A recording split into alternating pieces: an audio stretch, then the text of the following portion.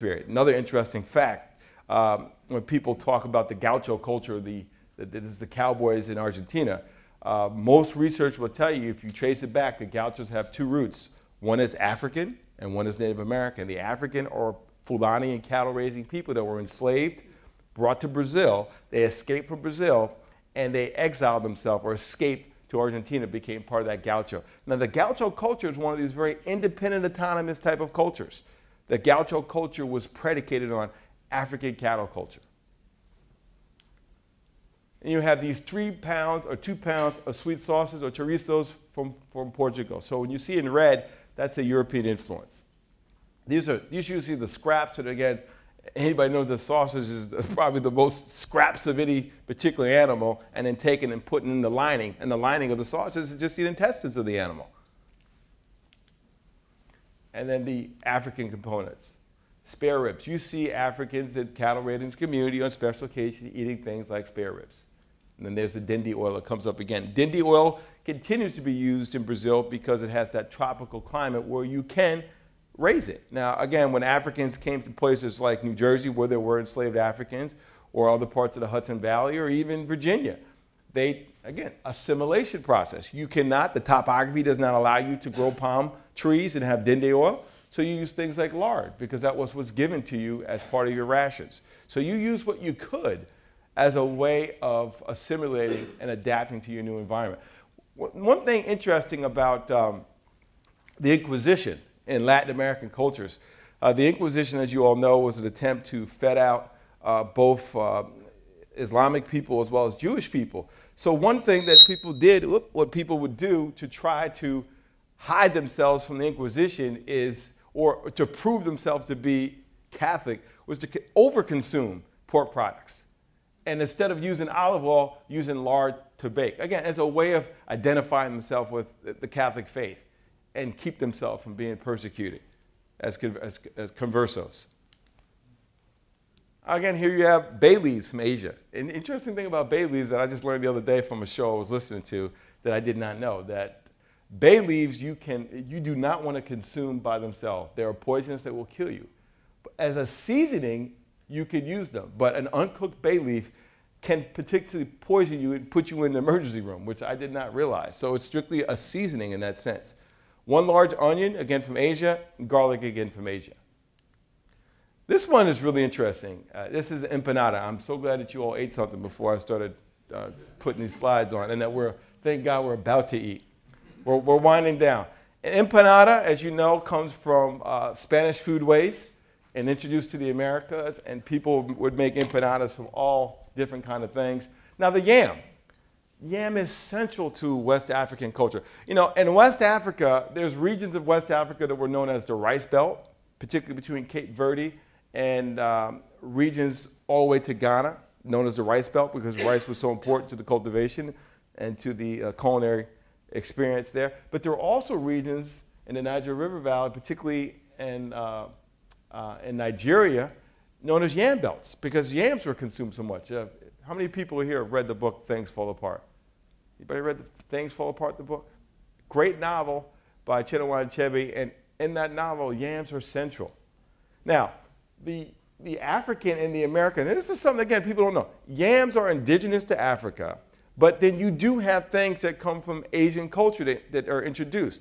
For example, the cocoa yam. The cocoa yam comes from Asia. Africans use it all over their cuisine now. You also have sweet potatoes. Sweet potatoes are an American plant. And again, during the slave trade, the Portuguese and other European societies introduced to Africa. But yam is indigenous to Africa. So during the, the African slave trade, yams were introduced as a staple to keep slaves alive during that Middle Passage and became part of American culture. But it's the sweet potato that is indigenous. Now, most of us, including those who would swear they know better, cannot tell the difference between a yam and sweet potato. And there are so many varieties that it is very difficult. But again, it's one of these things where you take a, uh, a dish, an empanada, and then you, you do a solo. And you use yam in that empanada. You stuff it with yam.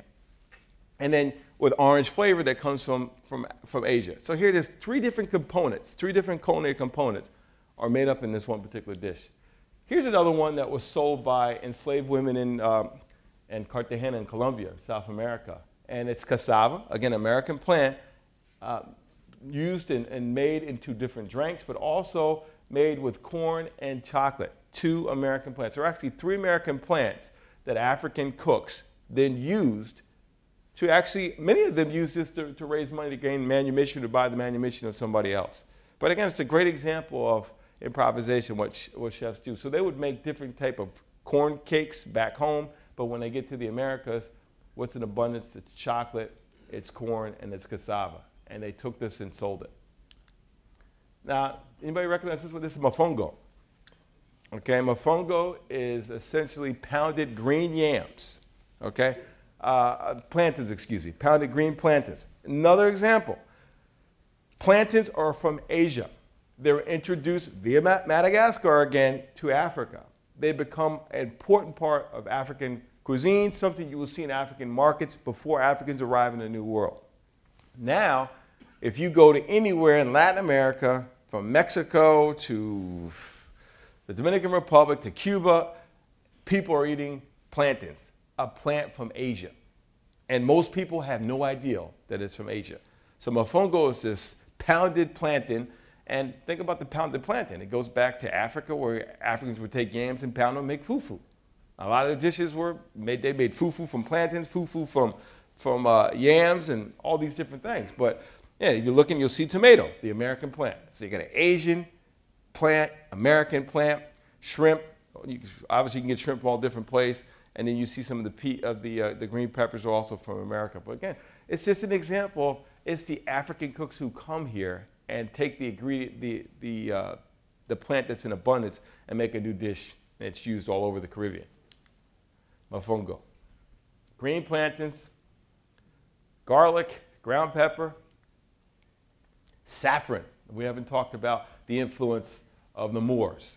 Okay, so you have the Moorish invasion of uh, the Iberian Peninsula from 1712 to roughly 1500 and bringing all kinds of Middle Eastern foodways into uh, Iberian cuisine.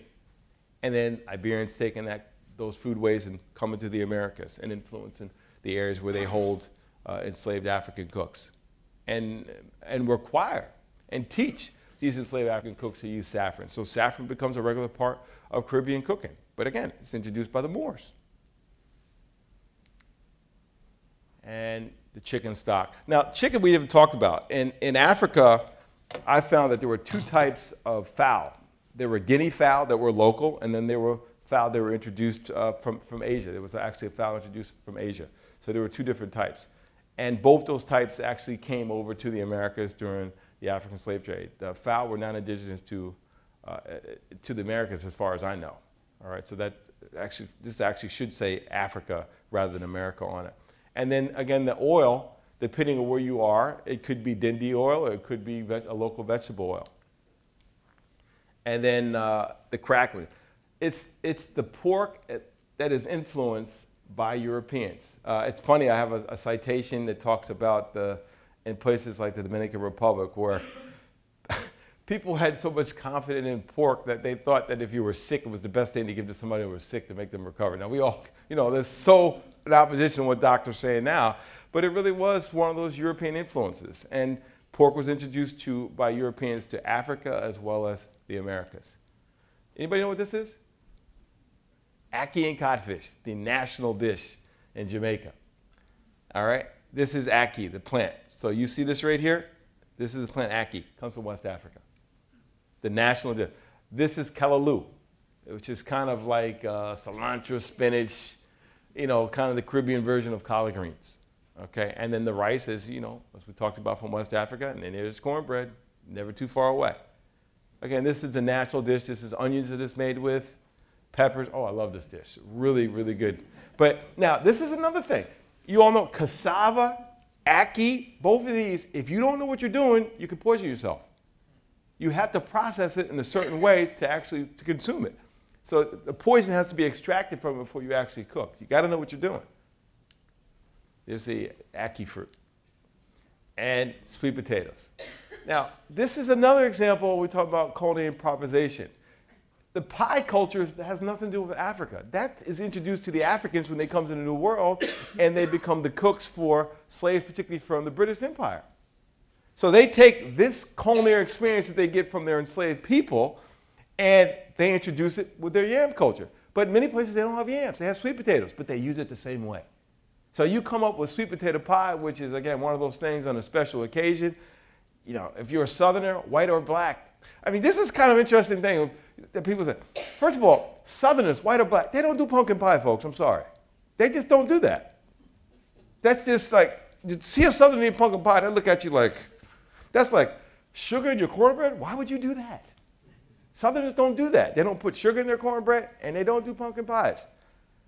Again, it's the influence of the African around them.